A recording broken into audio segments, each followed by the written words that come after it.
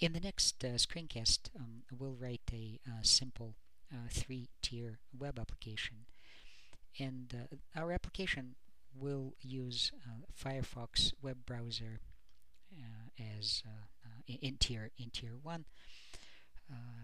in the second tier, it'll use Python CGI HTTP server running on Ubuntu. And the third tier will be um, uh, a simple uh, Python arithmetic server. Um, and uh, well, the server, um, this Python arithmetic server, will just um, accept um, input um, in the format password and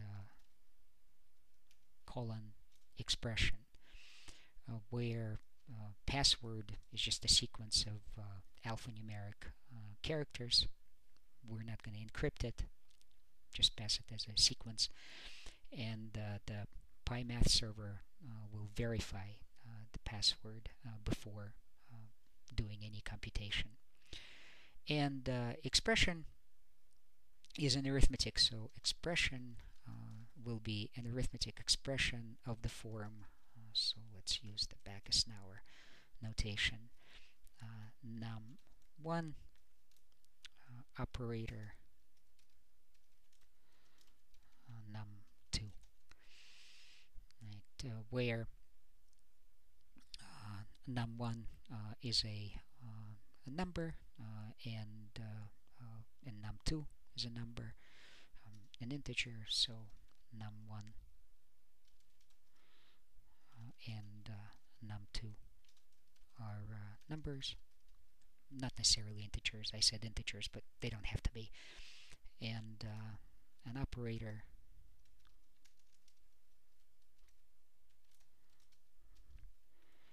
Is uh, either uh, plus or uh, times. Right so this arithmetic server will take two numbers and compute their sum or uh, product. So the client browser uh, will request um, that the Python CGI HTTP server uh, will run, will run uh, a specific script. Um, the uh, script uh, will be the name of the script will be um, math underscore client.pl uh, which we will write in Right? Uh, and uh, um, so a simple URL would be the HTTP request will contain a simple URL. HTTP for example localhost 800 CG, CGI bin, uh, math client, question mark, and uh, the input will be in the form, for example, x equals 2 and operator equals plus and y equals uh, uh 2.5 so this will be the HTTP request uh, that the web browser will contact uh, the server with. And then uh, the server will uh, run this math client. Uh, math client oops I made a mistake. It has to be math client pl right before uh, the question mark.